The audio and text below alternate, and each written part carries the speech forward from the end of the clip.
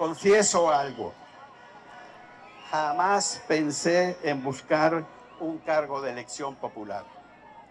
Pero ante esta encrucijada, junto a Mercedes, mi esposa, y mis hijas Mariana y Carolina, tomamos, tomamos la decisión familiar de dar un paso al frente por Venezuela.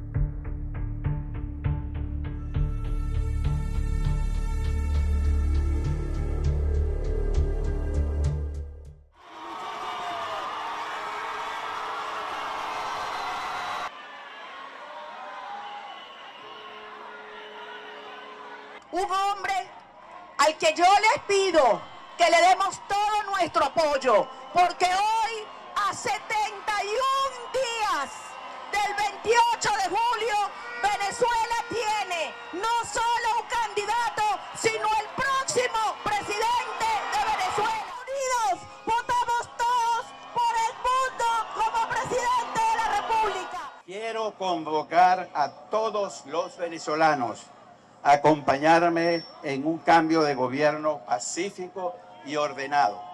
Así como la oposición logró superar sus diferencias, asimismo superaremos cualquier obstáculo, transformaremos nuestra acción. La unión de todos es una necesidad. De aquí al 28 tenemos que estar más unidos y organizados que nunca. Ese día tenemos que dar muestras de unión y organización, más importante de los últimos tiempos.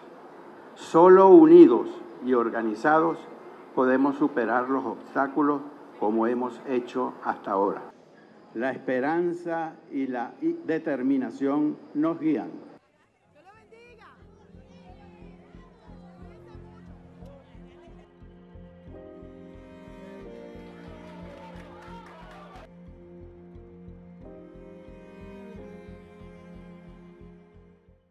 O sea, no debería verse nada extraño que los dirigentes de la oposición estemos eh, haciendo campaña distintos, en distintos escenarios. A veces acompañados del candidato, otras veces no, otras veces acompañados de líderes fundamentales. María Corina es una de los líderes fundamentales. Que ofrecemos una Venezuela distinta.